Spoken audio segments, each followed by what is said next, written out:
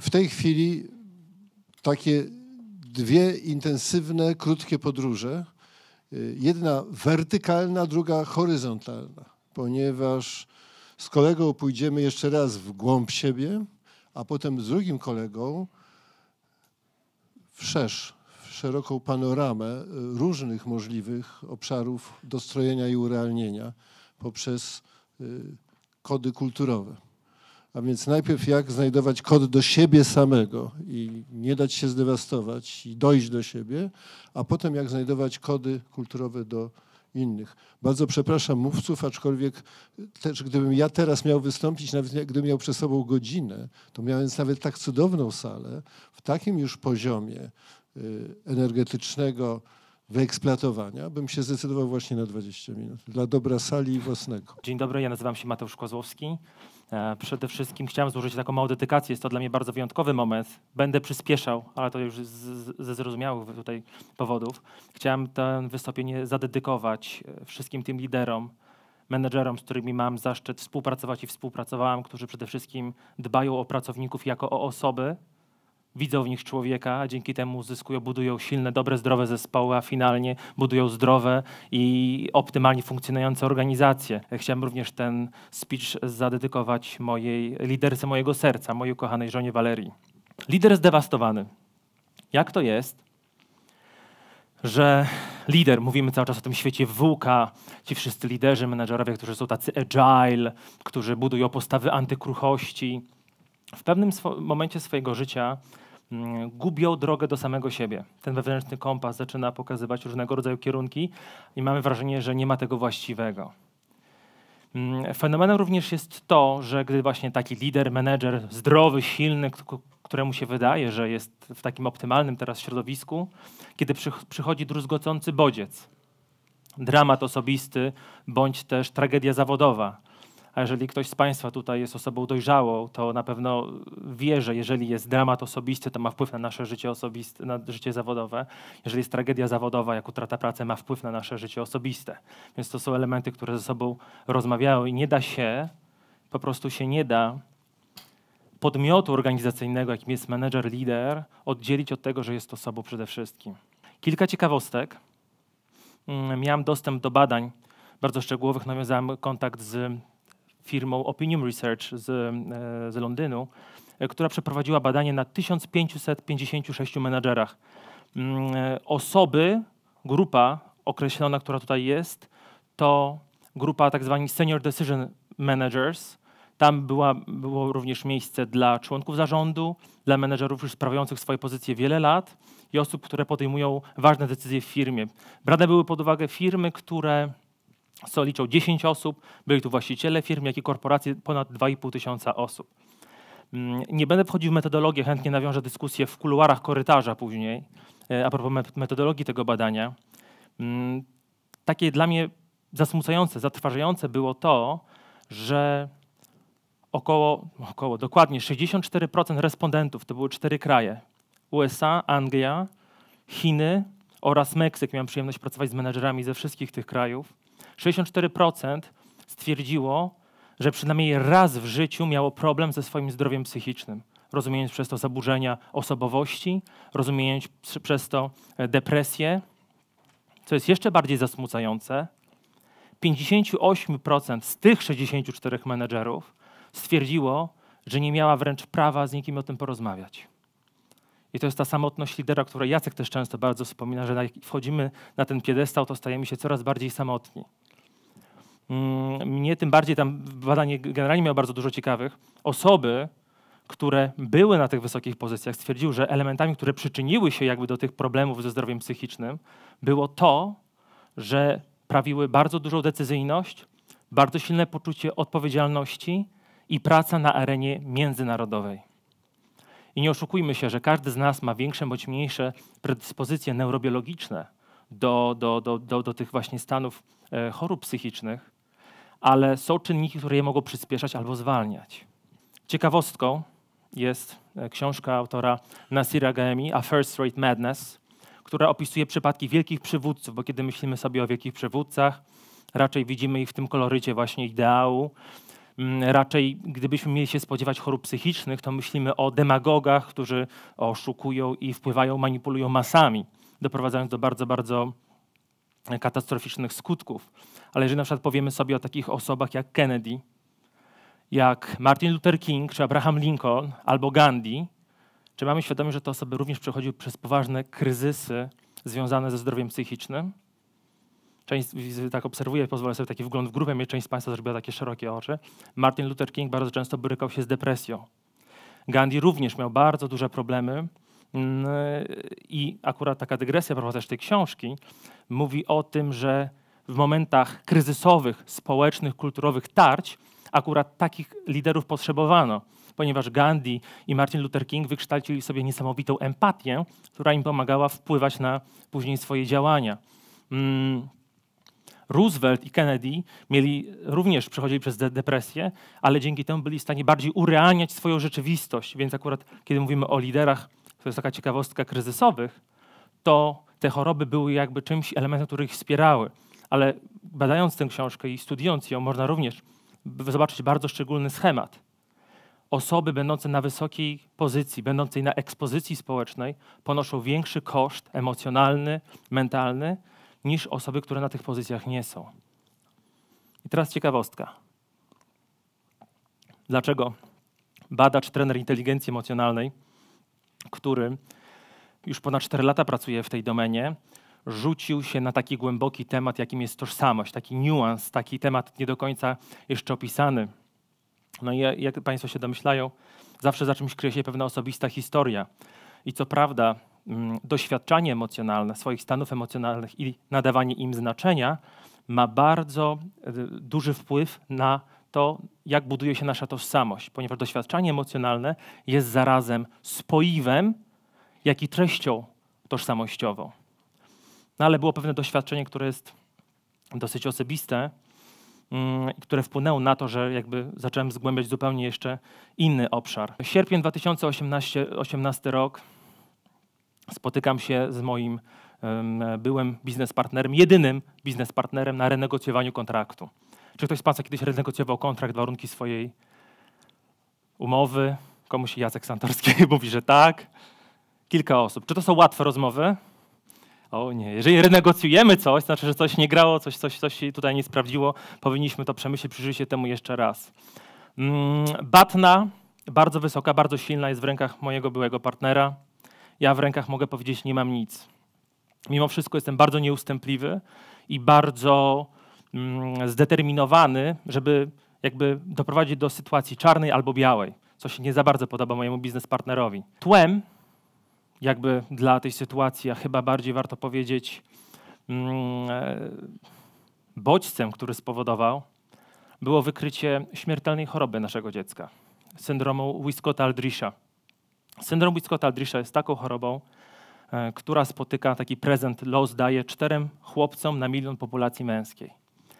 Mm, jak Państwo się zapewne domyślają, nie były to najłatwiejsze momenty tych renegocjowania, ale byłem zdeterminowany, żeby osiągnąć to dla dobra e, swojej rodziny. Więc tego samego dnia, w sierpniu 2018 roku, rozstaje się z jedynym pracodawcą, żywicielem jakby rodziny.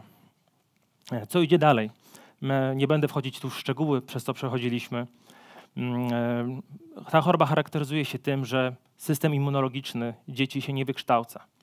I po prostu któraś z kolejnych infekcji staje się infekcją śmiertelną. Chłopcy dożywają od 4 do 6 lat. Jedyną szansą dla nich jest Mm, przeszczep szpiku kostnego. My na pewnym etapie nie byliśmy predysponowani do tego. Mm, później dostaliśmy taką bakterię, która sprawiła, że zaakceptowano nas. Wyczekiwaliśmy na tę osobę, czy, czy znajdziemy dawcę szpiku kostnego. Po dwóch miesiącach uważam to za wielki sukces. Udało nam się to zrobić. I na dwa miesiące zamknęliśmy się postanowiliśmy raz z moją żoną, stąd też ta dedykacja na początku dla niej, postanowiliśmy z moją żoną ograniczyć kompletnie udział w życiu jakimkolwiek. Odcięliśmy się fizycznie z potrzeby na sterylne warunki przeprowadzenia przeszczepu szpiku kostnego, jak i kompletnie psychicznie od całego świata. Więc było bardzo dużo czasu i przestrzeni na autorefleksję i rozwijanie samoświadomości w tym momencie. I już podczas pobytu tego, kiedy właśnie odcięliśmy się od świata, mm, zauważyłem pewną zasadność, pewną regułę. mm, można było powiedzieć, że było dwóch Mateuszów Kozłowskich. Jeden Mateusz Kozłowski reprezentował postawę, powiem, nie, nie, nie, nie za bardzo pozytywne, bo był wściekły, był rozżalony, był bardzo gniewny, zagniewany na samego siebie i na cały świat, był bardzo bliski rozpaczy. Ale był też drugi Mateusz Kozłowski. Pełen troski, pełen miłości i bardzo wspierający. Co jest najciekawsze, te same druzgocące bodźce tylko się nasilały. Nie było dostępu do zasobów, szeroko rozumianych zasobów, a mimo wszystko była możliwa różnica, rozróżnienie, rozróżnienie jakby dwóch typów zachowań przy tych samych nasilających się druzgocących bodźcach. Ja na tym etapie nie chciałbym, żeby Państwo mieli jakieś poczucie mojej wyjątkowości, bo jeżeli Państwo mieli być może takie doświadczenie w swoim życiu, albo znali rodziców, którzy, dla których przeszedł szpiku kostnego ich dzieci był szansą na uratowanie życia, bądź, bądź też rodziców dzieci z chorobami, dla których również to była jedyna szansa, to mogliby Państwo śmiało stwierdzić, że ci rodzice każdego dnia, każdej godziny i każdej minuty wybierają swoje postawy, iście heroiczne postawy. I to, o czym opisuje Frank i wielu uczestników, dziwi się na moich warsztatach, że to nie jest niemożliwe, żeby tak decydować w swoim życiu. Ci rodzice to robią każdej minuty w swoim, w w swoim życiu. Moja onko koleżanka powiedziała mi raz, że dla swojego dziecka to trzeba ten uśmiech i tę radość wygrzebać choćby spod paznokci. I to jest to, o czym mówił Viktor Frankl, że pomiędzy bodźcem a reakcją jest przestrzeń. Przestrzeń na co? Na wybór. A wybór czego? Naszej postawy, niezależnie od okoliczności. I to ci rodzice, rodzice dzieci onkologicznych, rodzice dzieci z chorobami genetycznymi realizują niemalże każdej minuty. Pewną jakby przypadłością, którą ja uważałem przez część życia, w moim przypadku, że wręcz ułomnością było to, że zawsze miałem bardzo silny wgląd afektywny. Bardzo silnie potrafiłem eksplorować ten swój świat emocjonalny. Przez część życia żyłem w głębokim przekonaniu, że to jest pewna ułomność i też taki sygnał od części społeczeństwa dostawałem, że to jest coś, czego nie powinienem mieć, czego powinienem się wyzbyć, wyzuć. Dopiero w trakcie zrozumiałem, że to jest bogactwo i też dzięki temu bogactwie, zaglądaniu w ten proces wewnętrzny jestem w stanie nawiązać bardzo dobre relacje ze swoimi, mm, z osobami, z którymi współpracuję i potrafię te rzeczy werbalizować. I zacząłem nazywać te rzeczy, które pomagają mi. Jeszcze tak bardzo po swojemu. Tak mówię, dwa miesiące w klinice y, dają bardzo, bardzo dużo czasu na tą autorefleksję, na rozwijanie samoświadomości, na przeżywanie choćby na ratę tego bólu emocjonalnego, który już wcześniej wyrezonował, kiedy pan Maciej i pani Martyna byli na scenie. Mm, co tutaj jest również e, dosyć interesujące, takim moim buforem bezpieczeństwa był wycisk intelektualny. W tych momentach, kiedy, ponieważ byliśmy tam z żoną, nie byłem z Gabrielem, zaczytywałem się literaturą e, z różnych nurtów psychoterapeutycznych. Logoterapia, terapia skoncentrowana na osobie, terapia skoncentrowana na, na, emocjach i pewne rzeczy klikały, pewne elementy z tych różnych nutów psychoterapeutycznych docierały do mnie, bardzo rezonowały. Można wręcz powiedzieć, pomagały mi przechodzić przez te trudne momenty, ale brakowało pewnego jakby spoiwa, tego, co by sprawiło, żeby to wszystko było spójne i integralne. I z każdych z tych dzieł, wielkich dzieł, Rogers, Frank, zionął jeden temat, który jakby aż prosił się, żeby zgłębić. Tożsamość więc jakby kolejnym krokiem było to, żeby zacząć zgłębiać, czym jest tożsamość, już w sposób dużo bardziej kompleksowy i holistyczny. I czytając wiele artykułów i książek, natknąłem się na artykuł, który jest dostępny online, jeżeli Państwo będą chcieli, on jest jak najbardziej do udostępnienia. Mm, artykuł doktora Kwapisa, który opisywał tożsamość w taki bardzo kompleksowy i dobry sposób. Mm, I tam natknąłem się na motywy tożsamościowe. To wywołało bardzo silną, emocjonalną, mentalną, intelektualną retrospekcję do tego momentu odejścia od pracy, z pracy, ponieważ byłem w stanie zobaczyć, poczuć wręcz, bo wcześniej to było czysto empiryczne, ponazywane po mojemu, byłem w stanie zobaczyć, że coś, co ja przeżyłem, przeczułem i funkcjonowało to tak bardziej po mojemu, zostało już zbadane, zostało już opisane, zostało już jest wykorzystywane. Jeszcze to jest w kuluarach akademickich, ale ma to też bardzo duży potencjał biznesowy, jak się później okaże. I co za tym idzie? Bardzo ciekawe było to, że byłem w stanie zaobserwować wszystkie zagrożenia dla mojej tożsamości, dla moich motywów tożsamościowych, jak one się kruszyły i jak zostały dobitnie zniszczone. Odnalazłem to w literaturze motywów tożsamościowych. Ale uwaga, skoro dzisiaj tutaj jestem jestem w stanie przemawiać tutaj do Państwa, znaczy, że coś zagrało trochę w innym kierunku, że coś się takiego wydarzyło, dzięki czemu mogę tutaj z Państwem wchodzić w interakcję. Ponieważ jest jeden z motywów, o których też sobie powiemy, który w takich dramatycznych sytuacjach potrafi dosłownie ratować ludzkie życie. Jeżeli mówimy o, jeżeli mówimy o tożsamości, mamy tak zwany trójwymiarowy model tożsamości. On jest bardzo dobrze wpisuje się w różne teorie, koncepcje psychologiczne, e, również do trójskładowej teorii postawy profesora Wojciszkę. Mamy w nim procesy poznawcze, afektywne i behawioralne. I każdy z nas tak naprawdę jest odrobinę bliżej e, w każdym z tych procesów. Jakby ten rdzeń tożsamościowy mamy tutaj, odnajdujemy się w każdym z nich bardzo e, po części, ale jeden jest jakimś dominantem, dominującym elementem. I te osoby, dla których procesy poznawcze są dominującym, postrzegają świat w taki sposób bardziej właśnie intelektualny, rozumowy. To wszystko musi przejść przez jakby umysł, żeby to było wartościowe. Są osoby w procesach afektywnych, które kierują się intuicją, stanami emocjonalnymi, ja tutaj jestem, oraz procesy behawioralne, czyli osoby odnajdują się w operacjonalizacji, w działaniu. Do ten nasz model, ten nasz rdzeń tożsamości jest karmiony przez sześć motywów. Ja dodam, że to Vivian Vignoles. Vivian Vignoles zebrał różne koncepcje, przeprowadził szereg badań i jakby wyprowadził na świat właśnie te różne motywy. Nie będziemy wchodzić w szczegół, mamy, jak już słyszeliśmy, ten ograniczony czas. Mamy motyw samooceny. Czym jest samoocena w szerokim rozumieniu? Akceptacją siebie, poczuciem własnej miłości, wartości, wręcz miłością własną. My pracujemy na zasobach samooceny w trzech wymiarach są to wymiary oceny globalnej, czyli jest to ocena, sama ocena jest traktowana dużo bardziej jako cecha, która ma duże znaczenie dla ogólnego dobrostanu. Na samoocenie parcjalnej, czyli samoocena, która odnosi się do różnych aspektów konkretnych naszego życia, jak role, zdolności, umiejętności i samooceny i samooceny mm, kontekstowej, sytuacyjnej, czyli jak się czuję sam sobą w adekwatnej sytuacji. Kolejny motyw to motyw skuteczności. Czym jest skuteczność? Przekonaniem. Tu pracujemy w sferze przekonań. Skuteczność jest przekonaniem, że jestem w stanie, mam zdolność organizowania i zdeterminowanego działania według planu zmierzającego ku temu, żeby osiągać cele, zamierzone cele. Tu pracujemy w przekonaniach. Skupiamy się na jakby trzech elementach. Te trzy elementy to intencjonalność, siła i skuteczność.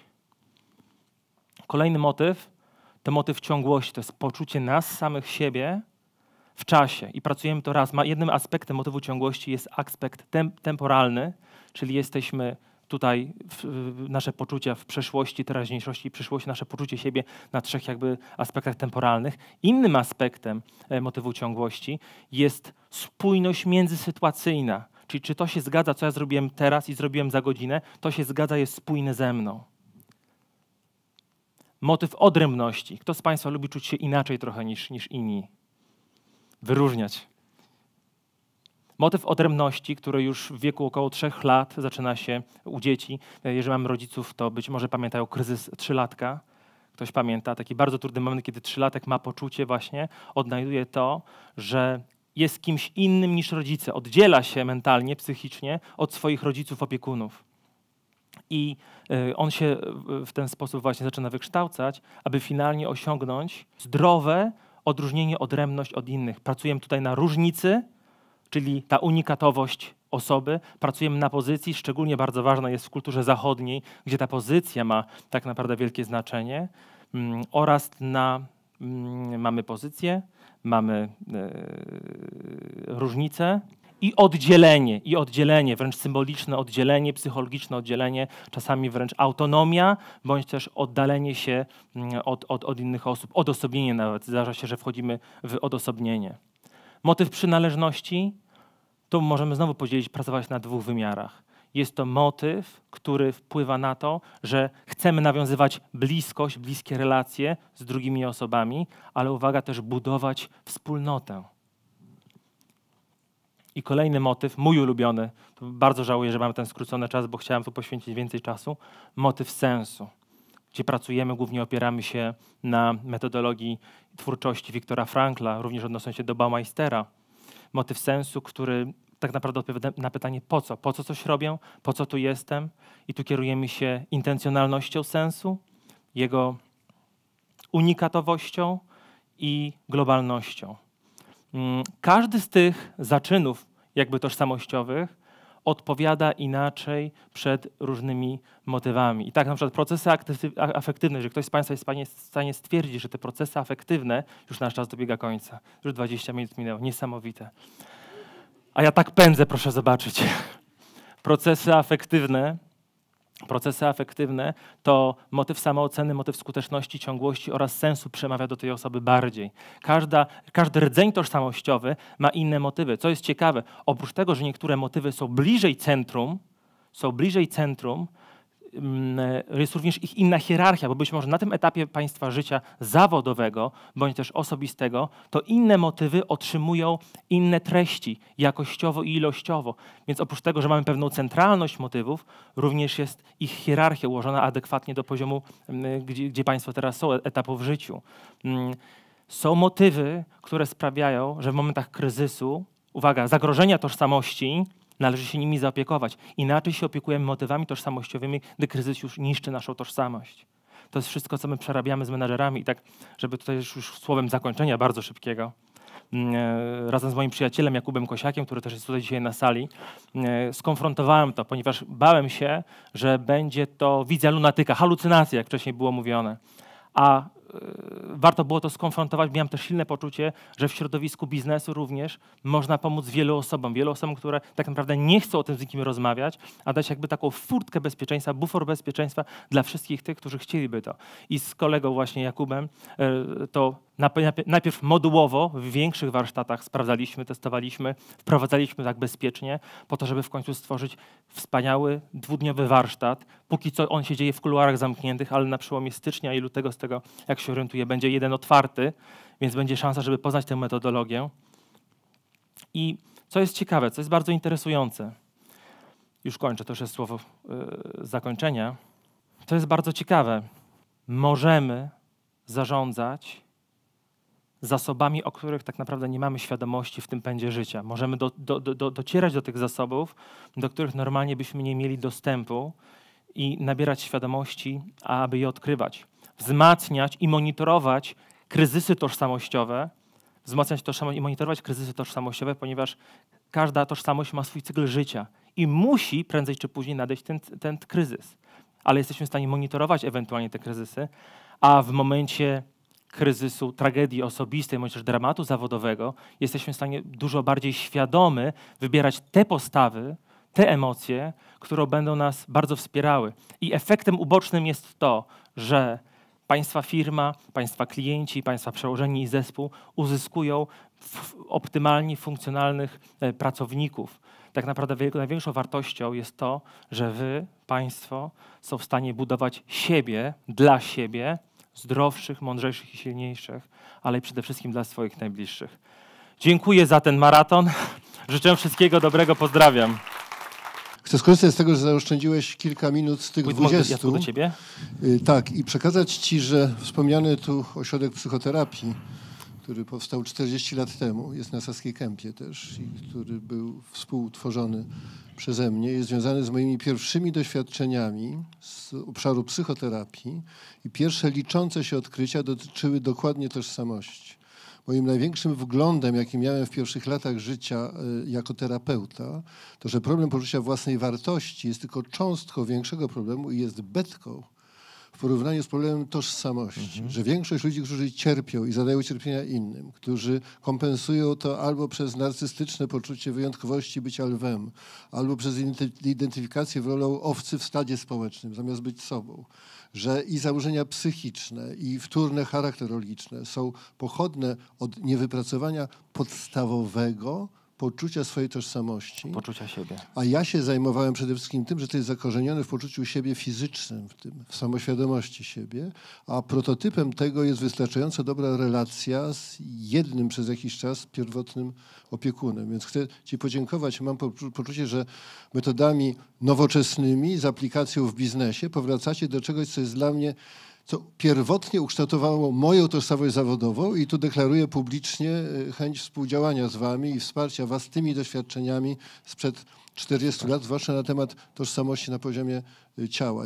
Mam poczucie, że państwo złapaliście o co tu chodzi. W tym że złapaliście, że to jest maraton, że poza poruszającą historią, za którą ci dziękuję i to, że umiesz ją opowiedzieć już z tego rodzaju i zaangażowaniem i dystansem, na scenie jest też wyrazem tego, że twoja tożsamość jest we właściwym miejscu i że y, to wszystko jest na bardzo dobrej drodze. Także dziękuję dziękuję ci. szacun i Dzięki wszystkiego dobrego.